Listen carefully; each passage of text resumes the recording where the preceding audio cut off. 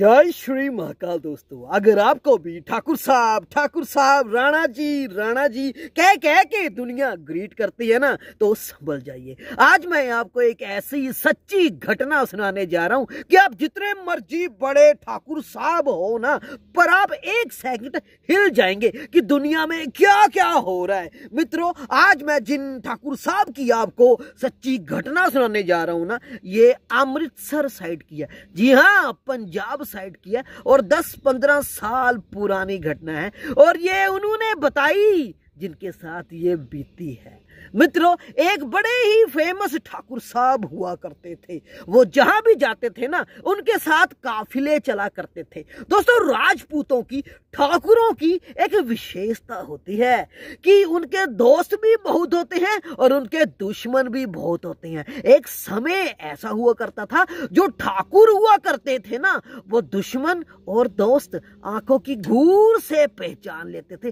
पर अब कुछ समय बदल गया है। तो दोस्तों, आज जिन ठाकुर साहब की हम घटना सुनाने जा रहे हैं ना, ये बहुत ही ज़्यादा मोटिवेशनल होगी, खासकर उनके लिए, जिनके घर में बहने हैं, बेटियाँ हैं, माए हैं सारी फीमेल रिश्तेदारियाँ हैं। तो ध्यान से सुनिएगा, दोस्तों, एक ठाकुर साहब हुआ करते थे पंजाब साइड के। बहुत ही ज़्यादा फ़ेमस थे बहुत ही ज़्यादा रसूख वाले थे। वो जहाँ भी जाते थे, उनके साथ काफिले चला करते थे। अब जी सारा दिन उनके जो घर में आना जाना लगा ही रहता था। और दोस्तों, राजपूतों की ना एक विशेषता होती है, जब वो किसी से दोस्ती करते हैं ना तो उसकी जाति नहीं देखते। दिल मिला। दोस्ती हो गई।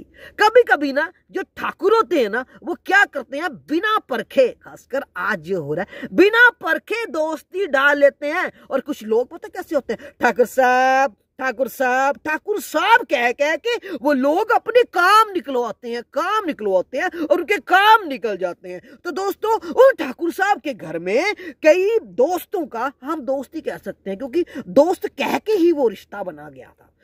आना जाना लगा ही रहता था। कभी कोई आता था, कभी कोई जाता था। अब जी, एक कोई बंदा था, वो ठाकुर नहीं था। पर मूछे उसने पूरी की पूरी ठाकुरों के जैसे रखी हुई थी। हाँ देखने में भाई वो ठाकुरों के साथ रहता था तो हाव भाव हाव भाव एक्शन रिएक्शन राजपूतों वाला हो जाता है हम जब अगर किसी के साथ ऊपर के लेवल पे मिलते जुलते हैं ना लंबे समय में तो हमारे में ना ऐसे बदलाव होने लाजमी है तो वो बंदा था उसके अंदर भी ऐसे ही वो हो गए थे वो ठाकुर साहब को ठाकुर साहब ठाकुर साहब ठाकुर साहब कह कह के वो बंदा ठाकुरों का ही खास हो चला था ऐसे उसने अपने आप को साबित किया था अब जी मित्रों, वो ऐसा बंदा था जो उनके परिवार में उनकी कोई बहन लगती होगी, उस बहन को उस बंदे ने कर दिया ऑफ़र कि मैं आपको बड़ा पसंद करता हूँ।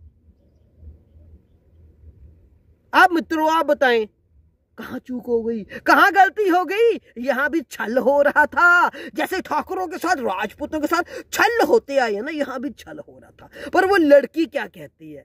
वो क्या कहती है? वो कहती है, तुम मेरे भाई के दोस्त हो। और ऐसा बोलने की तुम्हारी ज़रूरत है ना, ये बहुत गलत है। ऐसा हमारे घर में आके ऐसे बोल रहे हो हम राजपूत हैं, हमें अपनी मर्यादा का पता है, तभी तो हम राजपूत हैं। हम राजपूत हैं, तभी तो तुम हमारे भैया के दोस्त हो। तो मित्रों, ऐसी उस बहन ने उसको जवाब दिया कि तुम मेरे भाई के दोस्त हो, मैं कैसे ऐसे तुम्हारे बारे में सोच सकती हूँ? कहानी खत्म। और मित्रों, जब बहन ने अपने भाई को बताया उस बंदे के बारे में तो वही सजा मिली जो पुराने समय में राजपूत देशद्रोहियों को दिया करते थे। अब आप बताएँ कि ठाकुर साहब ठाकुर साहब कह कह के आपको कितने बंदे कितने बंदे टैकल करते हैं? और मित्रों, किसको कहाँ रखना है? आप ठाकुरों आपको ज़्यादा पता होना चाहिए।